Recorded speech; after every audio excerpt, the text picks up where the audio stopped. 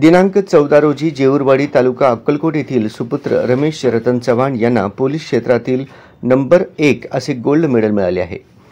रमेश चव्हाण हे रत्नागिरी येथे पोलीस प्रशासनात हेड कॉन्स्टेबल म्हणून कार्यरत आहेत. सध्या लखनौ येथे all India police duty meet बारा ते सोळा फेब्रुवारी दोन हजार चोवीस लखनौ उत्तर प्रदेश येथे प्रशिक्षणाप्रसंगी हे गोल्ड मेडल तेथील संचालक यांच्या हस्ते प्रदान करण्यात आले.